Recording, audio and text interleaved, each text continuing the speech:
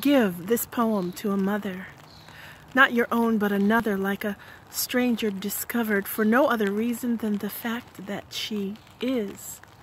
Get out your scissors, some ribbon and glue for this very important work we will do, folding colorful paper corner to corner, because nobody warned her single life as a woman has strife as a parent. She did not always bear it with grace, and it shows on her face.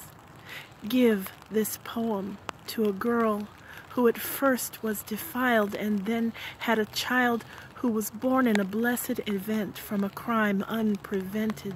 Though she fought him to stop it, now her baby's adopted. They will not let her meet him until he's 18. What will she do with the time in between? I suppose you might also give her some roses.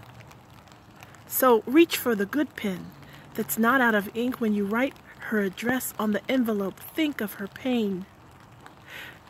Say that her sacrifice was not in vain.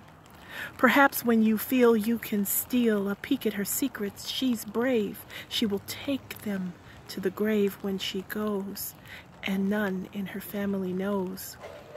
Give this poem to a mother, somebody you find, and I'm not sure whom you might have in mind. I trust you to show her, even if you don't know her, but go to her with love. She will believe you and maybe receive you on an ordinary day, not just on the second Sunday in May. When you read her this poem, you're confirming her worth despite those she gave birth to who are not so inclined or too far away. This honor we pay.